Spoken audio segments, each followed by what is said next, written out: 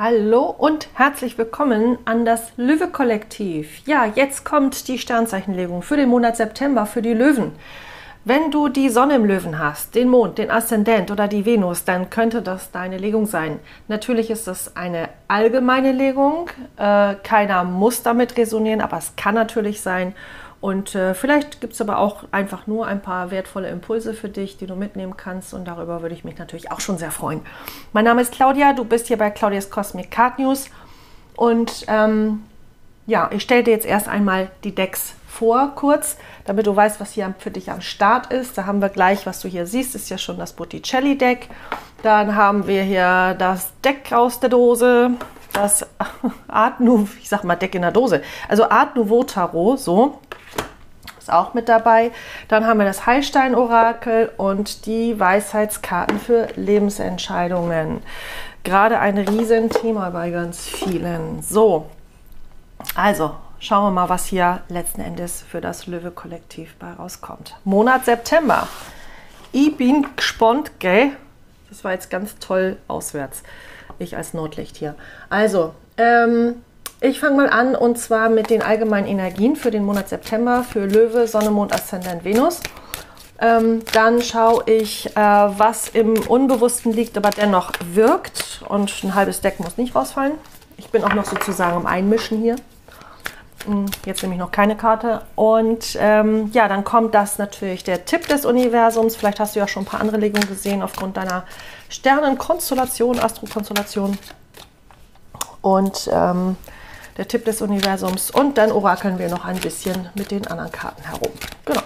Also, jetzt geht es um Löwe, Sonne, Mond, Aszendent, Venus in dem Monat September 2022. Was ist hier für das Löwe-Kollektiv? Die Energie von den Karten. Was ist hier für dich? Löwe, Sonne, Mond, Aszendent, Venus. Ja, nur weil die Löwen zum Schluss dran kommen, heißt es nicht, dass ich am längsten mischen muss hier. Also, liebes Universum, liebe geistige Welt, ich hätte gerne eine Botschaft. Löwe, Sonne, Mond, Aszendent, Venus, da wir die, ui, da haben die erste. Eine sehr schöne Karte schon mal. Guck mal, Königin der Stäbe, das ist ja, könnte schon mal sehr gut deine Energie sein, weil das ist Feuerenergie. Löwe, Widder, Schütze. Äh, Löwe, Widder, Schütze, ja doch, genau. Und äh, ja, das ist natürlich eine Königin, die sehr selbstbewusst ist, die sehr charismatisch ist, die weiß, was sie will, die für das brennt, was sie möchte, ist leidenschaftlich, die äh, geht ja für das, äh, was sie gerne ähm, ja, erfahren möchte, ist unternehmungslustig, temperamentvoll, also all diese schönen Dinge ähm, heißblütig. Nicht? Also es kann auch äh, natürlich mal ein bisschen viel Temperament sein. Vielleicht ist die Dame auch manchmal ein bisschen ungeduldig.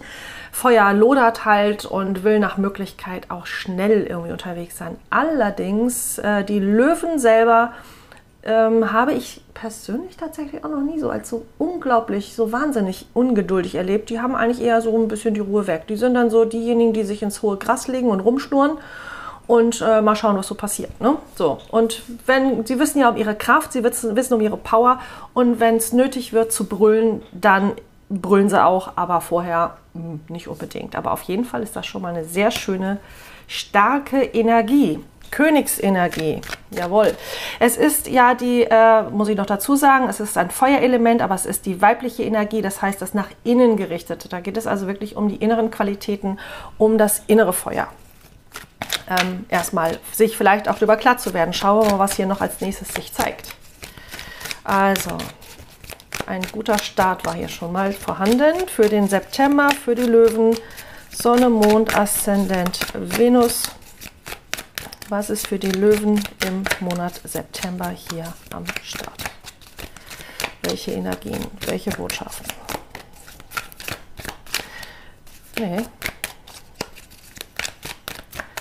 Okay. Sonne, Mond, Venus, Löwe im Monat September. Da haben wir den Eremiten. Okay, vielleicht brauchst du gerade mal ein bisschen Rückzug. Vielleicht ist gerade äh, das angesagt, dass ähm, du dir über einige Dinge vielleicht klar werden möchtest. Ähm, vielleicht genau das Thema betreffend hier, nämlich dein inneres Feuer, deine Leidenschaft, das, was du vielleicht jetzt in Zukunft machen möchtest. Wir stehen ja wirklich vor, gerade vor fetten Entscheidungen, äh, jeder für sich. Und äh, ganz viel in einer absoluten, wirklich absoluten Neuausrichtung. Und ähm, der Eremit kann auch sagen, mir wird das alles hier zu viel ähm, das, was hier gerade, äh, das alles Chaos, alles geht drunter und drüber. Ich muss mir erstmal Klarheit verschaffen. Deswegen ähm, geht er, zieht er sich sozusagen aus der Welt zurück, aus seinem Alltag zurück. Äh, geht in Medias Res und schaut, schaut mal, was äh, da in ihm letztendlich sich für Felder auftun und er schaut, dass er Klarheit gewinnt und dann mit klaren Erkenntnissen ähm, aus dieser sogenannten Isolation auch zurück, aber es ist eine freiwillig gewählte. Ich mag diese Karte sehr. Ähm, als ich damals mit Karten anfing, oh Gott, fand ich die schrecklich. Wie jetzt Rückzug, bla, blub, Stillstand, tut sich nichts mehr. Ne? So, also ich war auch eine von denen, die immer gerne im Außen sehr aktiv war. Aber wenn man weiß, wie wertvoll Erkenntnisse sind und das überhaupt nicht langweilig ist, ja, dann nimmt man auch den Eremiten mal ganz gerne mit. So. Ich möchte gerne weiter schauen, was für eine Energie hat bekommen wir noch hier für die Löwen. Sonne, Mond, Aszendent, Venus im Monat September. Löwe-Energie im Monat September. Sonne, Mond, Aszendent, Venus.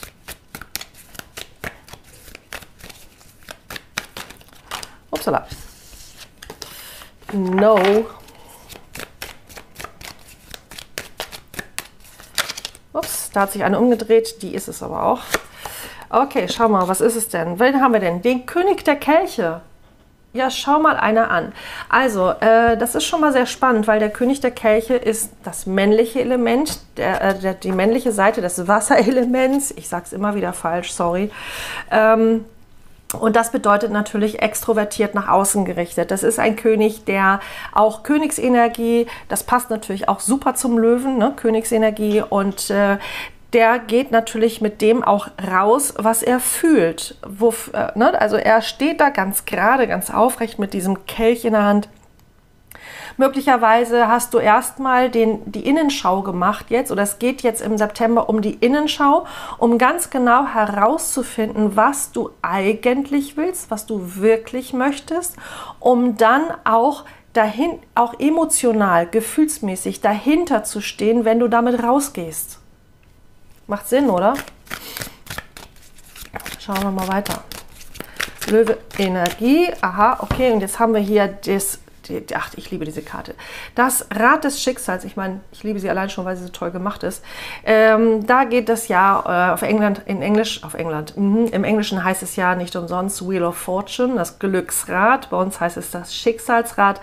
Und äh, da ist es halt, ähm, ja, schon mal sehr, mh, kann schon mal Stillstand bedeuten. Also, dass du sozusagen die, hier gibt es ja immer diese, diese Bewegung, ne? das Rad dreht sich und dreht sich und dreht sich. Und äh, in der Regel ist, wenn diese Karte kommt, bist du kurz vorm Durchbruch, bist du kurz vor der Aufwärtsbewegung. Diese Karte sagt an, es ist aktuell eher ein Stillstand. Ähm, und was ich sehr schön finde, das ist in einem anderen Deck, in dem, in dem Licht- und Schattentarot ist das, glaube ich, da wird auch nochmal ganz konkret gesagt, schau auf die Zeichen, die da kommen. Schau auf das, welche Hinweise dir gegeben werden.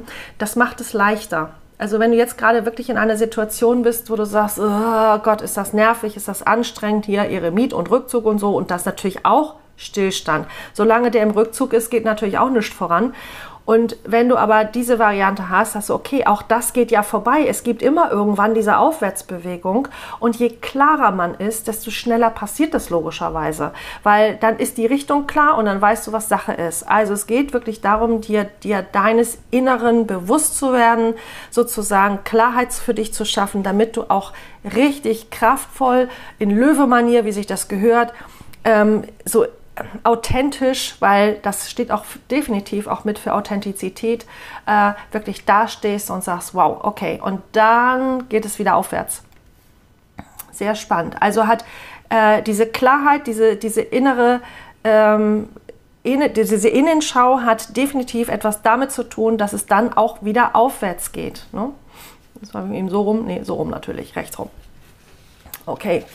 Ähm, und auf die Zeichen zu achten, auf die Hinweise zu achten, ähm, was auch immer es sein mag, wo du sagst, oh, da ist irgendwas, was das spricht mich gerade sehr an und äh, schau mal, ob das vielleicht ein Hinweis für dich sein könnte. Oh, das Licht wird gerade hier richtig schön. Kommt die Sonne. Ja, was haben wir noch? Also, Löwe-Energie im September. Ich finde, das ist doch schon mal sehr schön hier. Äh, Im September Sonne, Mond, Aszendent, Venus für die Löwen. Im September für das Löwe-Kollektiv. Was gibt es hier noch für eine Karte, für eine Energie? Upsala, die will. Ähm, Oh, die neuen Münzen, das ist auch sehr schön. Die neuen Münzen steht natürlich für die Ernte. Und äh, das ist auch mega. Also tolles, tolle Einstieg, sage ich jetzt mal so. Richtig, richtig gut. Wir haben hier zweimal große Arkana. Die haben zwar beide mit äh, Stillstand zu tun, aber auch letzten Endes, was dahinter steht, ist immer in der Ruhe liegt die Kraft. Dieser Spruch kommt ja nicht von ungefähr. Zentral stehst du hier. Der König der Kelche ist zwar Wasserelement, also das heißt äh, Fische, Krebs oder Skorpion, aber er ist ein König. Und es kann natürlich sein, dass du letzten Endes als äh, Fisch, Krebs oder Skorpion zuschaust. Dann Löwe ist der Aszendent als Beispiel. Oder du bist Löwe und hast einen Krebs, Fisch oder Skorpion-Aszendent. Alles möglich. Auf jeden Fall ähm, kannst ja mal schauen, wie das bei dir in den Aspekten so ist, aber dennoch steht hier in der Mitte einfach mal der König. So, und du würdest ja nicht zuschauen, wenn nicht Löwe äh, Aspekte bei dir hättest. Äh, Königsenergie, ganz wichtig. Dann haben wir hier ähm, schon auf jeden Fall auch schon mal die Ernte. Und das Spannende ist, jetzt guck dir mal an, was die beiden anhaben. Ich ziehe das mal jetzt ganz bewusst hier so raus. Und äh, beide haben dieses rote Gewand an und es sieht exakt gleich aus im Gegensatz zu dem, was die Königin hier nämlich anhat, das sieht nicht gleich aus. Das kannst du jetzt hier, glaube ich, ganz gut sehen. Ne? So, und äh, das hat auch gleichzeitig für mich so den Charakter, erstmal sind es beides Neunen. Und zum anderen hat es den Charakter nach dem Rückzug, nach der Klarheit, nach den Erkenntnissen darf geerntet werden oder geht es ab in Richtung Ernte? Also äh, da ist definitiv die Aussicht auf Ernte gegeben, ähm, aber die Klarheit im Vorwege ist definitiv zwingend notwendig. So, um dann letztendlich natürlich auch hier ganz zentral in der Basis, in der Mitte, authentisch für sich selbst zu stehen, zu sagen, ja, ich gehe jetzt mal an den unteren Karten ran. Ich habe es noch nicht gesehen. Ich bin sehr gespannt. Das werden wir jetzt gemeinsam entdecken. Die zehn Schwerter. Ach du Heimatland. Okay, also möglicherweise ist für den einen oder anderen hier tatsächlich etwas zu beenden. Und zwar radikal. Ich habe mich eben schon gefragt, warum die Dame hier so, so, so einen leidigen Gesichtsausdruck hat. Ich meine, das ist tatsächlich das, was ich an diesem Deck irgendwie so blöd finde. Die, ich, Entschuldigung, ich sage jetzt blöd, weil äh, das gefällt mir tatsächlich nicht so sehr, weil die hat eigentlich Leidenschaft, die hat Feuer und so weiter. Und wie die guckt, ist gerade eher so, ich bin ja voll gelangweilt. Also die könnte, der könnte man auch die vier Kelche in die Hand geben. So. Ähm, Ach nee, drei, den vierten sitzt er nicht. Also, das ist dieses Schlussmachen, dieses etwas beenden. Jetzt ist natürlich die Frage, beendest du etwas mit ist das dein alter äh, Zustand sozusagen, deine alten Denkweisen, weil Schwerter stehen ja auch für Gedanken, für Überzeugungen und so weiter. Machst du mit denen Schluss? Und gehst deshalb also in die, äh, in die Klausur mit dir, damit du dafür dich Klarheit bekommst. Also du sagst, das Alte so wie bisher, das geht so nicht mehr. Ich muss umdenken, ich muss neu denken, ich brauche eine andere Perspektive. Ich muss erstmal eine Erkenntnis auch haben, was will ich denn wirklich, äh, wofür brenne ich denn eigentlich und aber das Alte jedenfalls schon mal nicht. Da mache ich nicht mehr mit, dafür stehe ich nicht mehr zur Verfügung. Das wäre natürlich der allerbeste die allerbeste Ausgangsposition. Ähm, was es natürlich auch heißen kann, dass du wirklich gerade in einer so extrem üblen Situation steckst, ähm, dass du ähm, sozusagen äh, leidend dem Ganzen auch ein Ende bereitest. Die gute Nachricht hierbei ist, es geht etwas zu Ende und es darf etwas neu werden. Nach mehr als zehn Schwerter gibt es nicht, also danach geht es von vorn los oder da geht etwas neu los. Und möglicherweise hat das auch mit dem Rad des Schicksals gerade hier einen Zusammenhang, denn ähm, das ist nicht unbedingt immer so eine einfache Situation, in der man dann gerade steckt. Also da geht es wirklich darum, mit etwas Schluss zu machen. Irgendetwas, vielleicht äh, fordert dich das regelrecht, dass du jetzt gar nicht anders mehr kannst, als zu sagen, äh, no way, mache ich nicht mehr mit, stehe ich nicht mehr zur Verfügung, ich bin mir mehr wert, ist zum Beispiel eine Schlussfolgerung daraus. Und dann geht das Alte natürlich nicht mehr. Ne? So. Und äh, egal in welche Situation es sich handelt, ob man dich, äh, ob du dich hast ausnutzen lassen zum Beispiel, ob du, äh, ob du dein Licht unter den Scheffel gekehrt hast, weil du, du wolltest, du willst eigentlich Künstlerin sein oder Künstler sein. Männlein, Weiblein ist mir jetzt hier egal, ich da nicht. Also ähm, deine Künstlerseele möchte sich ähm, ausdrücken und du bist aber irgendwo in einem Archiv letzten Endes stecken geblieben oder du hast eine Vorliebe für die Natur, möchtest gerne mit Permakultur, Garten, irgendwas da in Richtung Arbeiten, sitzt aber in irgendeinem Büro oder umgekehrt, du sitzt im Garten und möchtest lieber ins Büro, das ist natürlich auch eine Möglichkeit. Ne? Also ähm, das, äh, wofür du wirklich hergekommen bist, was du machen möchtest, da haben wir wieder das Potenzial, das innere Potenzial, die Leidenschaften, wofür brenne ich und dafür sollte ich gehen, aber wir brauchen dafür natürlich Klarheit immer. Okay, und das kann sein, dass du sagst, ja, so, mit einem riesen Knall haust du jetzt das Ding in die Grütze. Ist durchaus möglich bei dieser, bei dieser Energie. Die ist sehr scharf. Und äh, bei, in einem anderen Deck, da hat er die zehn Schwerter ja auch in seinem Körper drin. Also der ist mausetot und steht auch nicht mehr auf. Ne? Da ist nichts mehr zu wollen. So, jetzt wollen wir mal gucken, was ist denn unbewusst bei dir am Wirken für den Monat September. Das ist ein spannender Monat, oder? Mit so schönen Aussichten, Klarheit, Aussicht auf Ernte. Das Rad dreht sich wieder nach oben. Und du stehst da in deiner Klarheit, in deiner Authentizität und du lebst das, was du fühlst und was du dir wünschst. Das ist doch großartig. Also, die Aussichten sind super. Schauen wir mal. Was ist unbewusst und wirkt dennoch bei dir? Löwe, Löwe-Energie für den September 22. Löwe, Sonne, Mond, Aszendent, Venus. Löwe-Energie bitte. Sonne, Mond, Aszendent, Venus. Löwe, Sonne, Mond, Aszendent, Venus. Was liegt im Verborgenen, wirkt aber dennoch die zehn Kelche. Ja, jetzt hatten wir die zehn Schwerter und dann haben wir ja das Gegenteil davon, die zehn Kelche. Die zehn Kelche. Halleluja, Sorgi, das ist hier auch definitiv die Ernte. Ne? Das, sind die, das ist die totale Erfüllung. Das ist ähm, wirklich ein wunderschönes Familienleben. Das ist die Aussicht auf ähm, Erfülltsein, Liebe. Ähm, ich weiß gar nicht, was ich sagen soll. Also alles Schöne. Ne? So. Also richtig sozusagen, das ist das gute Ende. Wie heißt das so schön? Am Ende ist alles gut und wenn es noch nicht gut ist, ist es noch nicht das Ende. Aber dann, das ist, das wäre sozusagen das Ende. Jetzt ziehe ich dich einfach mal ein bisschen hier mit runter, damit du die Karte besser sehen kannst. Genau, also wir haben hier die zehn Kelche. Das wirkt un, im Unbewussten. Das heißt, das ist also schon am Werden. Das ist bereits da zeigt sich noch nicht so. Äh, wundert mich allerdings nicht, wenn wir hier über die zehn Schwerter sprechen, ähm, dass das noch etwas ist, was im Vorwege geklärt werden muss. Oder was jetzt im September auch dran ist, dass du darüber die Erkenntnis hast, dass sich da etwas wirklich erledigt hat, dass das vorbei ist. Und äh, dann kann natürlich auch so etwas sichtbar werden, was ich dann gerne wirklich vergleiche mit der Schicksalsrad geht nach oben und dann kommt die Ernte. Also da geht es auf jeden Fall in die Richtung. Das finde ich auch wirklich irgendwie gerade so, so schön, weil äh, das hier so wie so ein Verlauf ist. Ne? Okay, welche Energie wirkt noch im Verborgenen? Welche Energie wirkt noch für dich? Löwe, Sonne, Mond, Aszendent, Venus im Verborgenen. Was ist hier für dich noch im Verborgenen? Upsala, da fliegt sie. Die hohe Priesterin, deine innere Stimme. Das passt hervorragend natürlich zum Eremiten und natürlich auch zur Königin der Stäbe auf eine Art, weil das, wie gesagt, das weibliche, die weibliche Seite das nach innen gerichtete Prinzip ist. Und wir haben hier die hohe Priesterin, die sagt natürlich deine innere Stimme. Also es ist tatsächlich so, dass es sein kann, auf, wenn ich hier die zehn Schwerter wieder ähm, heranziehe, dass wir hier eine Energie haben von deine innere Stimme wird immer lauter, die drängt dich immer mehr danach, wirklich Tabula rasa zu machen mit was auch immer. Egal was es ist.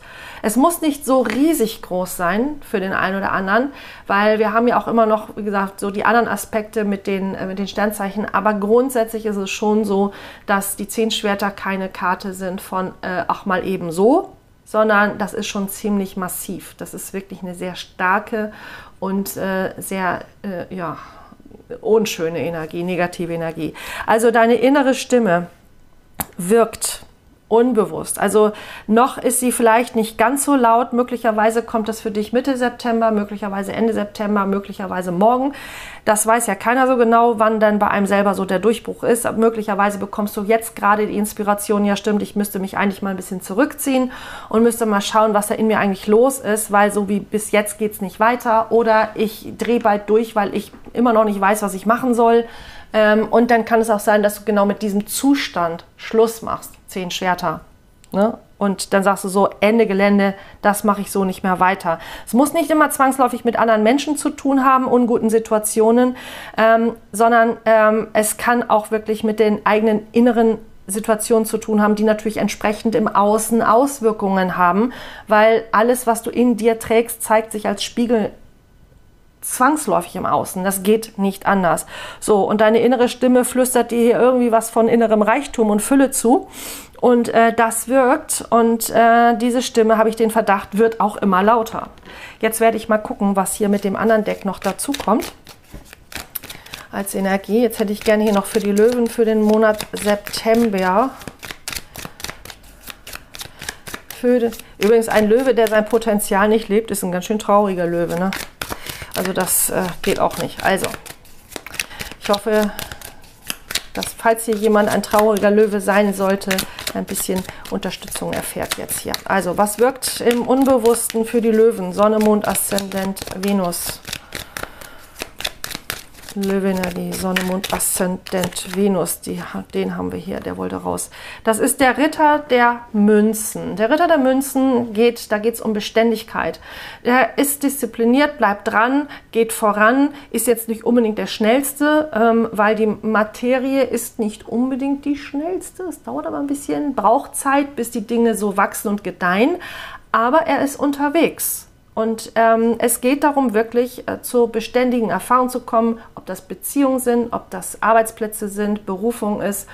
Ähm, Im Sinne von Selbstständigkeit, du kannst natürlich auch deine Berufung in einem Angestelltenverhältnis leben, gar kein Problem also so wie du dich am wohlsten fühlst. Aber Löwe, Löwe-Energie ist halt tatsächlich Führungsrolle im Grunde genommen. Königsenergie, wie wir das hier auch sehen. Vielleicht ist es, geht es für dich auch tatsächlich jetzt hier drum, dich selbstständig zu machen und da dein Pferd zu satteln und in die Richtung zu gehen und dass das immer stärker wird, dass die innere Stimme sagt, hey lieber Löwe, du bekommst äh, deine innere Erfüllung, du lebst deine innere Erfüllung auf jeden Fall, indem du dich selbstständig machst und äh, da jetzt mal weiter voranschreitest. Möglicherweise hast du ja auch schon ein Projekt, was irgendwie äh, unterwegs ist, wo du schon dabei bist, wo du schon Pläne äh, entworfen hast oder sie vielleicht noch nicht lebst, weil irgendwelche Dinge noch im Wege stehen. Das ist natürlich durchaus möglich.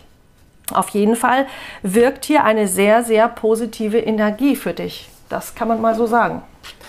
Ähm, das geht in Richtung Neuanfang, das geht in Richtung Neuwerdung, das geht in Richtung Kraft, Stärke, ins Potenzial kommen, und äh, wirklich die eigene Kraft und Stärke leben.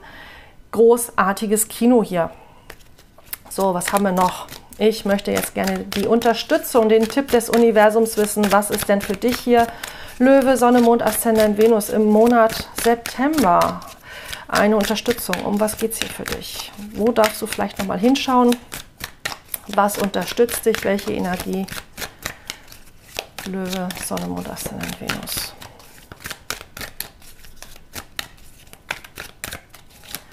Eine unterstützende Die wollte.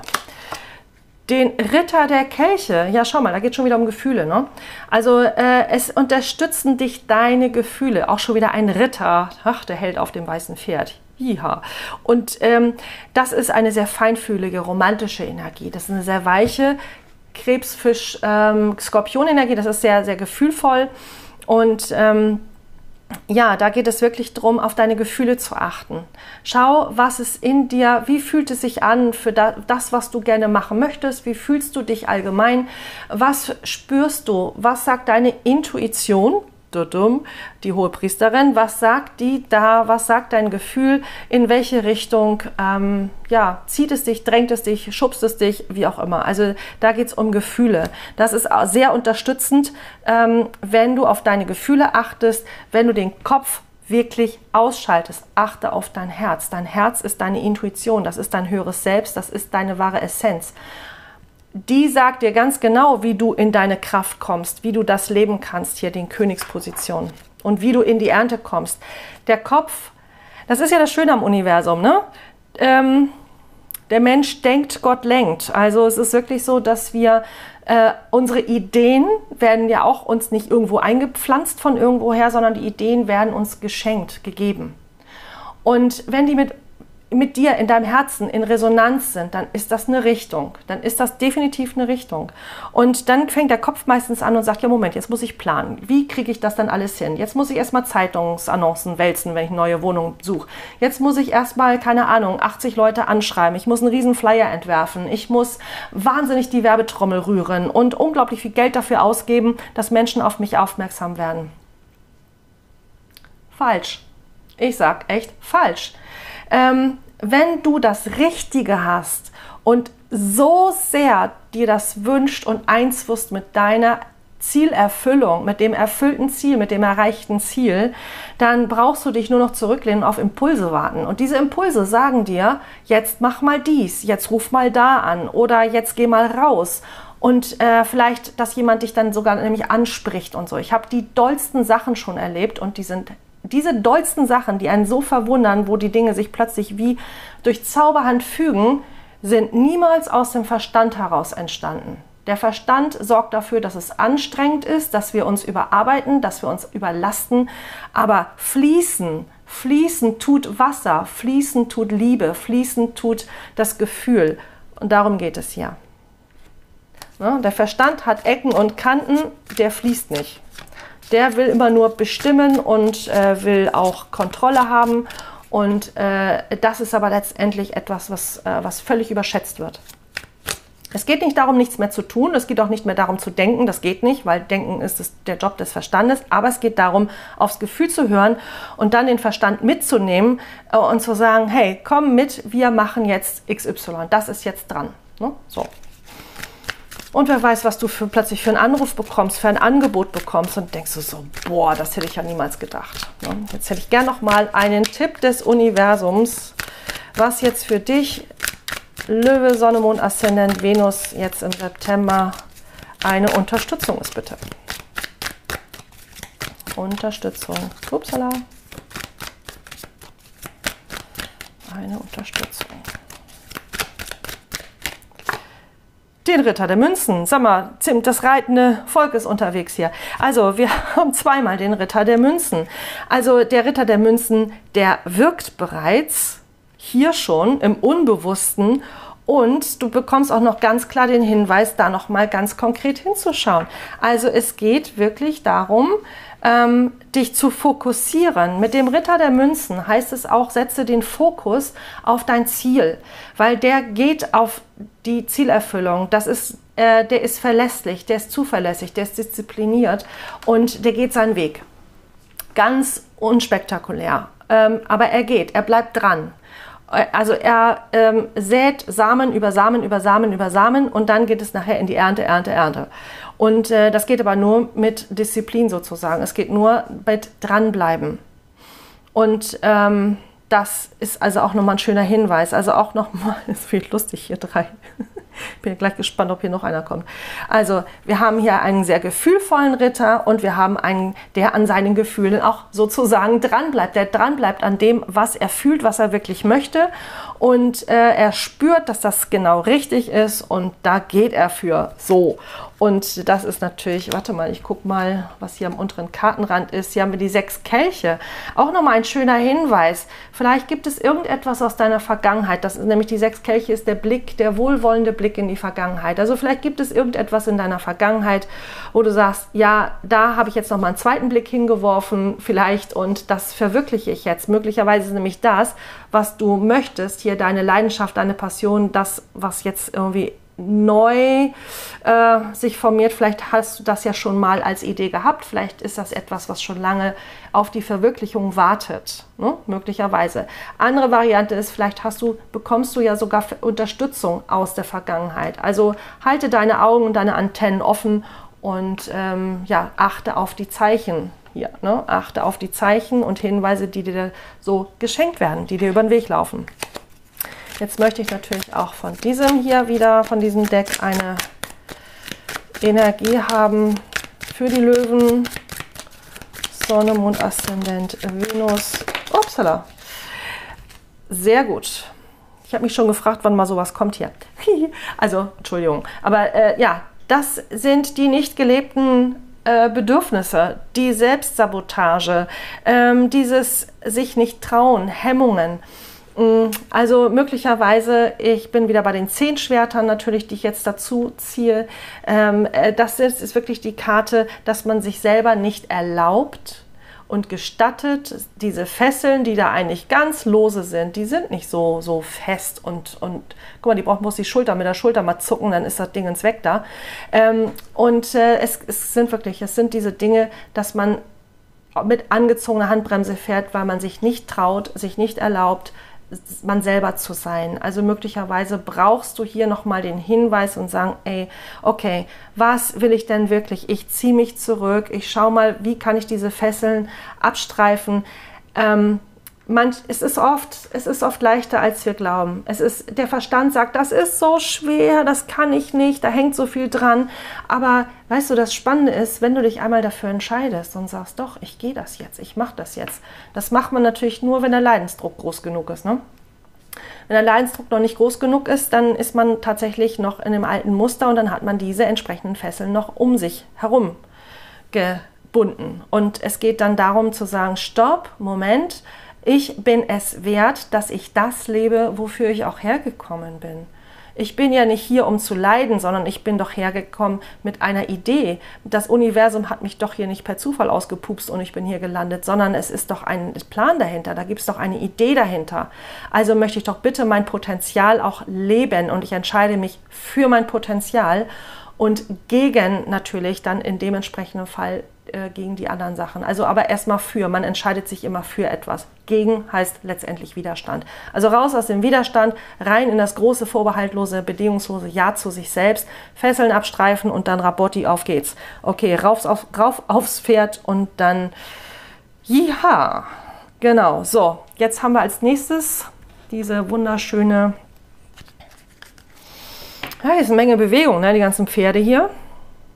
Und auch gleichzeitig Stillstand. Also gleichzeitig ist wichtig die innere Einkehr. Das ist so, so wichtig, weil nur mit Klarheit ähm, und natürlich auch Erlaubnis, dass du dir das nicht nur Erlaubnis, sondern das ist dein Geburtsrecht. Beanspruche es. Das ist wirklich dein Geburtsrecht. Das ist unser aller Geburtsrecht. So, ähm, Jetzt haben wir die Weisheitskarten für Lebensentscheidungen. Also, falls da jetzt für dich ganz konkret sogar schon was ansteht oder vielleicht auch erst in wenigen Tagen, morgen, ab morgen ist ja schon September, ne? Wow. Ja, dann schauen wir doch mal für die Löwen. Eine Weisheitskarte für Lebensentscheidungen. Löwe, Sonne, Mond, Aszendent, Venus für den Monat September. Was unterstützt die Löwen hier? Was unterstützt die Löwen. Sonne, Mond, Aszendent, Venus. Was unterstützt die Löwen im Monat September? Hier. Oh, Einfachheit. Ja, genau das Ding vom Löwen. Ne? Entschuldige, dass ich immer sage, aber Löwen sind für mich auch der Inbegriff von natürlich Gold und Glamour und so weiter. Und hier, guck mal, im unteren Kartenrand haben wir Drama. Okay, ein bisschen Spaß muss sein. Okay, die 42 die Einfachheit. Ich bin sehr gespannt. Ich bin sehr gespannt, was wir hier haben. Warte mal, ich tue das noch mal ein bisschen. Kannst du es vielleicht. Ups, jetzt rutscht mir hier meine Kamera runter. Warte mal. Das war zu viel des Guten. Uiuiui, kein Unfall bitte. Ich muss trotzdem noch ein bisschen nach da gleich. So, hier kommt nämlich noch eine Karte hin. Aber erstmal haben wir die Einfachheit. So, durchatmen. Die 42, möglicherweise, ach guck mal, gleich aufgeschlagen. Möglicherweise ist der vierte, zweite für dich etwas, dann bist du natürlich hier in den Aszendenten, Mond, Venus irgendwie unterwegs. Ansonsten die 42 kann dein Alter natürlich auch darstellen. Oder was auch immer oder gar nichts. Also, die Einfachheit, Grundbedeutung, im alltäglichen Tun die eigene Mitte finden. Demut. Die Botschaft des Orakels. Es gibt Zeiten, in denen es deinem großen Lebenstraum bestimmt ist, im Hintergrund deines Bewusstseins zu bleiben, so dass du den einfachen Verrichtungen des Alltags deine ganze Aufmerksamkeit zuwenden kannst. Bevor du dich an der Pracht eines in voller Blüte stehenden Obstbaums erfreuen kannst, bedarf es der gewissenhaften Pflege. Es gilt ihn zu beschneiden, zu wässern, zu hegen und zu pflegen und dann alles weitere dem Gang der Natur zu überlassen. Diese vorbereitenden Schritte sind ein wichtiger Teil im Werdeprozess. Wenn du deine Aufmerksamkeit von deinen Zielsetzungen abziehst, bringt dich das in einen Zustand der Empfänglichkeit. Das ist die tiefere Bedeutung des Loslassens. Widmest du dich deinen täglichen Aufgaben auf eine meditative und kontemplative Weise, wird damit die Energie für Aha-Erlebnisse frei, die dich dem von dir Gesuchten immer näher bringen. Man könnte auch sagen, letztendlich natürlich geht es schon darum, dass du dein Ziel im Fokus behältst. Es ist schon wichtig, dass du immer weißt, was dein Ziel dann letzten Endes ist. Ähm, oder du gehst jetzt erst in die Zielfindung, das kann auch sein. Äh, wie gesagt, es kann sein, der eine resoniert hier mit, der andere damit, der dritte mit gar nichts. Aber das ist auch so dieses, ähm, kann man auch als Meditation bezeichnen. Der Eremit, der Rückzug, weil es geht ja um, den, um die Innenschau. Und die kannst du beim Abwaschen und Bügeln genauso gut haben, äh, wie als wenn du dich irgendwo auf eine Bergspitze setzt und omst. Ne? Beziehungsbotschaft. Nichts ist jetzt wichtiger, als dich deinen täglichen Aufgaben zu widmen. Lass dein Herz wissen, dass nicht alles hart und leidenschaftlich erkämpft und dein Tun nicht immer bedeutungsschwer sein muss. Wenn du deine häuslichen Alltagspflichten ins Zentrum deiner Aufmerksamkeit rückst, treten Beziehungen und Freundschaften teilweise in den, zeitweise in den Hintergrund. Das ist jetzt vollkommen in Ordnung. Mach den Abwasch, habe ich gerade erwähnt, ne? lies ein Buch, lass dich zu einer gemeinsamen Mahlzeit nieder, schweige, hebe die Socken auf, vom Boden, erzähle einen schlechten Witz, halte Händchen und lass dir Zeit zum Atmen. Deine Beziehungsarbeit besteht jetzt ganz einfach darin, präsent zu sein. Ist es nicht seltsam, dass es uns Mühe kostet, einfach nur zu sein? Sorge dich nicht, alles ist gut. Wie war das? Und wenn es noch nicht, äh, noch nicht gut ist, dann ist es auch noch nicht das Ende. Ne? Erfolgsbotschaft. Auf deinem Weg zu Wohlstand und Erfolg geht es jetzt nicht um große Sprünge, sondern um die kleinen Schritte. Verlagere den Fokus deiner Aufmerksamkeit von deinem großen Traum auf die einfachen häuslichen Pflichten. Konzentriere dich auf die kleinen Dinge, die sich angesammelt haben, während du damit beschäftigt warst, einen größeren Lebensplan zu entwerfen und dir auszumalen, was du in Zukunft verwirklicht sehen willst. Hacke Holz, hole Wasser, wie es in der Zen-Geschichte heißt. Oder erledige den Abwasch, führe den Hund aus, Während du dieser einfachen Aufgaben nachgehst, hat das göttliche Prinzip Gelegenheit, Berge zu versetzen und Wunder in deinem Sinne zu bewirken.